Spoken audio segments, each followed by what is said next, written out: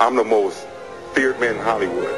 I'm, they, they don't like me in Hollywood. I'm Why, not- why do they not like you? I don't wear dresses. I don't do that gay stuff on the TV. They had to get some other black person to do that stuff. I'm talking, that's, now that's gunning. But they all confess they love the Lord. But you cannot compromise yourself if you love the Lord. So I play tough guys, but young kids want to be soldiers. Young kids don't want to follow a guy that wear a dress.